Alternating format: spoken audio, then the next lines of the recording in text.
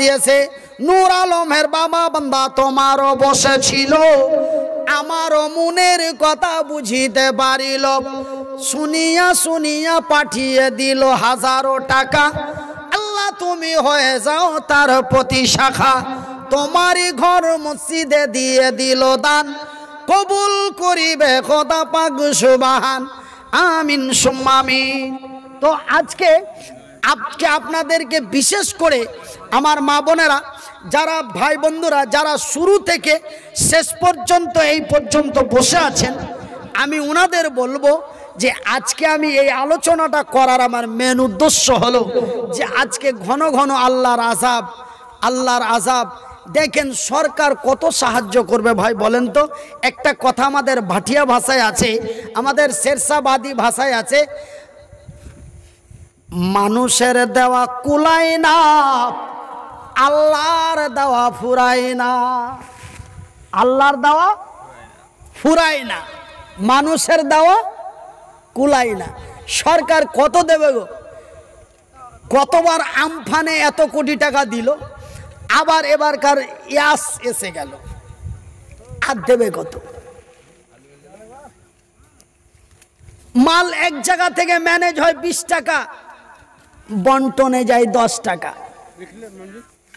তো ভাইজান, তবে এই বিপদে ঘরের ঘর সেহেতু আমরা আল্লাহ রব্বুল আলমিনের দরবারে দোয়া করি।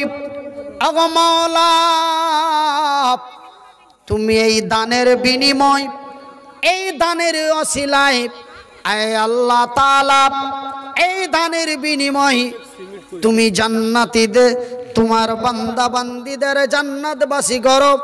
এই দানের ওসিলাই আল্লাহ তুমি জান্নাতিদের জান্নাত তোমার বান্দা বান্দিদের জান্নাতবাসী করো। এই দানের বিনিময় আল্লাহ তুমি অসুস্থদের সুস্থ করো। এই আল্লাহ এমন এক মহামারী ভাইরাস এমন এক করোনা ভাইরাস যেই ভাইরাসের জন্য আমরা দুই হাজার কুড়ি থেকে দুই হাজার একুশ সাল পর্যন্ত বড় বিপদে রয়েছি। আজকে এমন এক সমস্যার মধ্যে রয়েছি।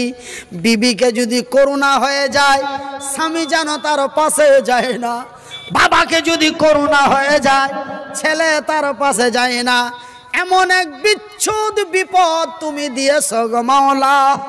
এই বিপদ বাবা অসুস্থ হলে ছেলে বুকে জড়িয়ে ধরে, ছেলে অসুস্থ হলে বাবা বুকে জড়িয়ে ধরে। কিন্তু এমনই কোন ভাইরাস তুমি দিলে গো মাবুদ? বিবি তার সরে চলে যায়, স্বামী তার দূরে চলে যায়, মা হলেও কাছে যায় না, বাবা হলেও কাছে যায় না। বাচ্চা ধড়পড় ধড়পড় করে, কিন্তু বাবা মা দূর থেকে দাঁড়িয়ে দাঁড়িয়ে দেখে কেন টাচ করলেও তো গো ভাইরাস হয়ে যাবে। কত বড় বিপদ। এই বিপদ যেন আল্লাহ আমাদের কাছ থেকে দূর করেন। তাই মাবুদের দরবারে একটু দোয়া করে বলি আমিন। যাই হোক আর তোমার এক বান্দা একশো টাকা এবং দুই ব্যাগ সিমিট আরেকজন তোমার বান্দা একশো টাকা আরেকজন পাঁচশো টাকা কে দিল গো? বেনামে। এ বেনামিতে আর তোমারও বান্দা এসে যে গেল পাঁচশত টাকা ফের নগদে দিয়ে গেল। যে উদ্দেশ্যে যে নিয়াতে দিয়ে গেল দান কবুল করিবে, খোদা পাক সুবাহান। আমি আমিন, খোদা। আমি নয় আমিন, মদের দোয়া কবুল কর রব্বুল আলামিন। আত্মীয় স্বজন যারা আছে মুসিবতে তোরা ইয়া নাও খোদারো জাহাসরেতে আত্মীয় স্বজন যারা আছে কবরেতে, ভালো করে রাখো খোদা কবরের ভিতরে। আমি মনির উদ্দিন ফের দোয়া করি কত আল্লাহ তুমি নাকি দিও তোমারই মন মতো। আমিন সম্মামিন আচ্ছা যাই বা হোক একটা ছোট্ট গজল বলে আপনাদের কাছ থেকে বিদায় নিচ্ছি। ওই যে আচ্ছা আমার ছোট ভাই মঞ্জুর মঞ্জুর বিন আব্দুল জলিল মানে মঞ্জুরের বাবা জলিল সাহেব দুইশো টাকা দিল। এই দানে খোদা তুমি করো হে কবুল। যে উদ্দেশ্য জানিয়াতে দিয়ে দিল দান, কবুল করিবে খোদা পাগ সুবাহান। আমিন সম্মামিন।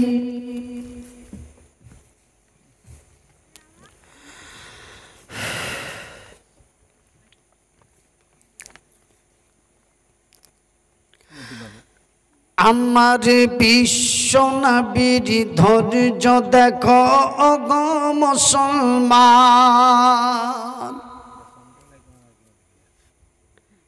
আমরা যারা ধৈর্য ধারণ করতে পারি, আল্লাহ কোরআনে বলেছেন, ইন্নাল্লাহ মাসবেরিন নিশ্চয় সবুরকারী ধৈর্যধারীকে আমার আল্লাহ তার রহমতের নজর দিয়ে দেখে। আর আমার রসুল ছিলেন এমন এক ধৈর্যশীল ব্যক্তি। যে নবীর উপরে মক্কা, মদিনা, তায়েব, বাসিরা এত অত্যাচার, জুলুম করার পরেও আমার রসুল কিঞ্চিত পরিমাণ ইসলাম থেকে সরে যায় নাই।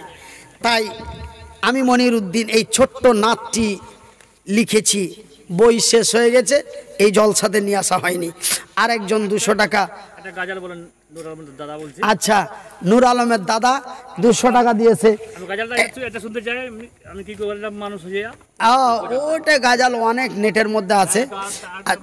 হ্যাঁ তো এই যে আমার রসুল ছিলেন একজন ধৈর্যশীল ব্যক্তি এই কবিতার মধ্যে একটু প্রমাণটা নিয়ে এলেন আমার বিশ্ব নবীর ধৈর্য দেখ অগ মুসলমান।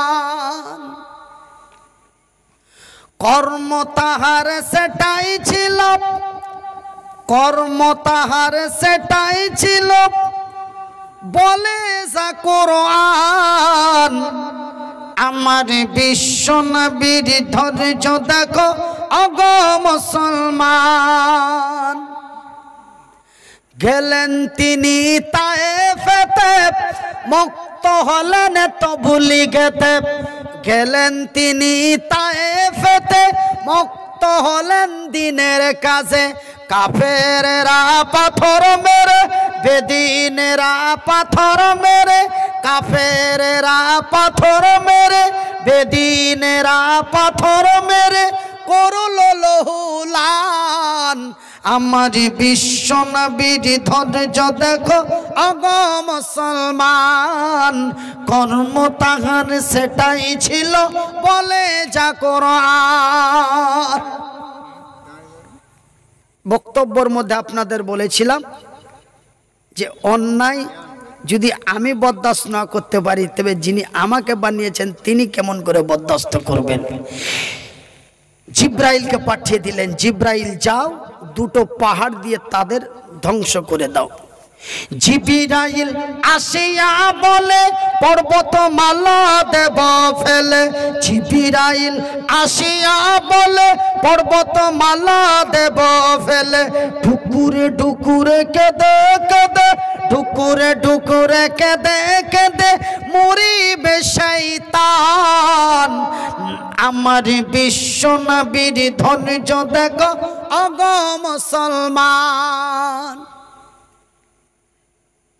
জিবিরাইল বলেন নবীগণ জিবির নবী বলেন, জিবিরাইল, আজকে যদি তাই বাসিকে ধ্বংস করে দেওয়া হয় কত মায়ের কোলে দুই মাসের শিশু আছে কত মায়ের কোলে ছোট্ট ছোট্ট খুকা খুকিরা আছে। এমন নিষ্পাপী ছোট বাচ্চাগুলি আমার উপরে কোনো অন্যায় করে নাই। অগ জিবিরাইল আমার আল্লাহর দরবারে বলে দাও, এই মই তায়েফের মাটিতে এমন নারীর গর্বে এমন এক সন্তান হতে পারে রে।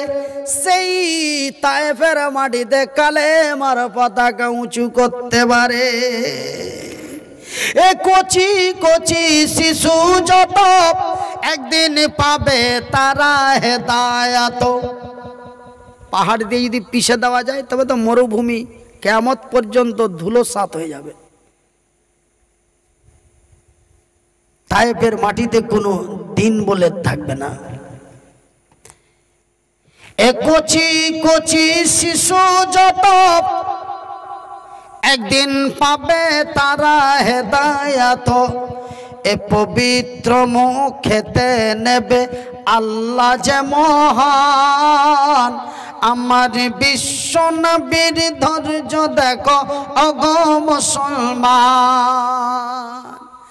এ কচি শিশু যত এ কচি শিশু যত, একদিন পাবে তারা হেদায়ত। একচি কচি কাঁচা শিশু যত, একদিন পাবে তারা হেদায়াত। এ পবিত্র মুখেতে নেবে আল্লাহ যে মহান। আমার বিশ্ব নবীর ধৈর্য দেখো, অগ মুসলমান। কর্ম তাহার সেটাই ছিল। যা বলে কোরআন, আমার বিশ্ব নবীর ধৈর্য দেখো অগ মুসলমান। উত্তরিলেন মোদের নবী, উত্তরিলেন মোদের নবী, এটাই হলো তিনার খুবই রাহমাতুল্লিল আলামিন। আর রাহমাতুল্লিল আলামিন এটাই যে আমার নবীর প্রমাণ। আমার বিশ্ব নবীর ধৈর্য দেখো, অগ মুসলমান।